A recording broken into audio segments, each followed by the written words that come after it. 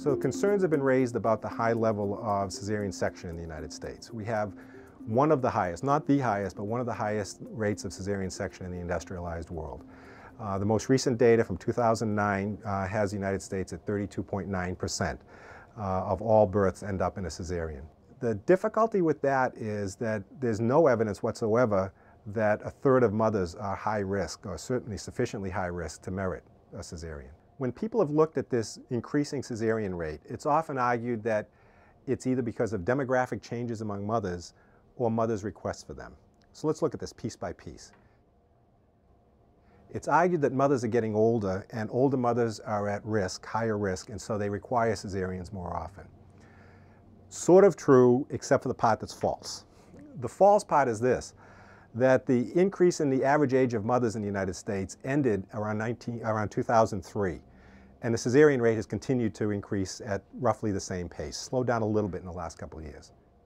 It's said that there's more twin births because mothers are using artificial reproductive technologies, so they're having more twins, and that's resulting in more cesareans because often there's cesareans because of twins.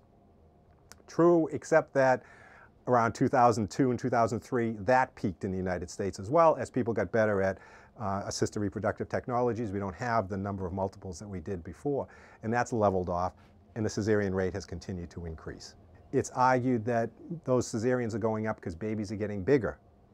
That's not true at all. Babies are actually getting smaller. Even if you're looking at singleton births to avoid the issue of twins, um, the, the average size of babies has decreased and it's partly decreased because the injection of early cesareans has resulted in more prematurity. So the final one that's, that's laid on mothers is they're asking for it. That this is simply doctors responding to demands by mothers. And that would be a very powerful argument if it had actual any basis in fact. Um, the only basis in fact is this. There are clearly a handful of mothers, a very small proportion of mothers who want a cesarean for fear of childbirth, for fear of labor, whatever. But that's a tiny fraction of the number of mothers we're talking about. When we did a national survey of mothers, we found it to be less than 1%. So most of the reasons we cite for the rise in cesareans um, either are not true at all in the case of birth weight, or have not been true for the last few years as the rate has continued to increase. The question's been raised, what's the concern with the high rate of cesareans? If maybe 33% isn't even high enough. Maybe it should be 100% cesareans among some. But the other side of it is this. Once you pass a certain point, and there's not a fixed number that everybody agrees on, but oftentimes in the area of about 15%, what you find is the outcomes don't improve any for, anymore.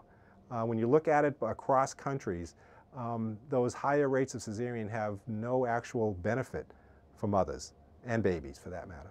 But when you start subjecting mothers at low risk to major abdominal surgery, you're in, introducing interventions they don't need. And then what we found was mothers were much more likely with planned cesareans to be rehospitalized in the first 30 days, in the first 90 days, and up to one year.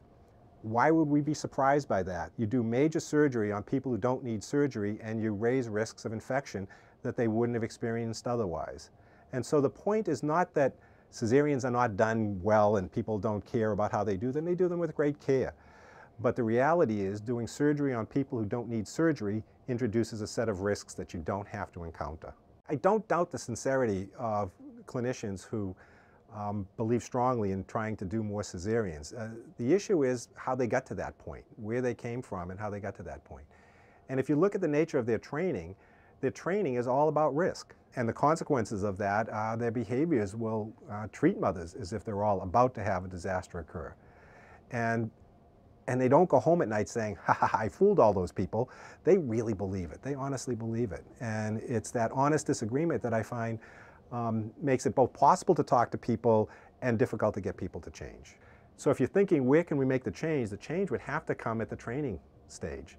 Um, both in terms of maybe recruiting some different kinds of people whose greatest skills weren't necessarily their score in organic chemistry, but um, had the kind of compassion and empathy that we want in a birth provider, um, but also change the way they're trained.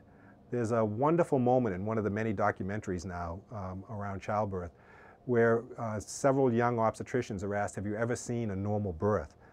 And the three of them sort of look at each other and say, well, no. And what does that mean for our system and the way we train uh, the people that we put so much care into?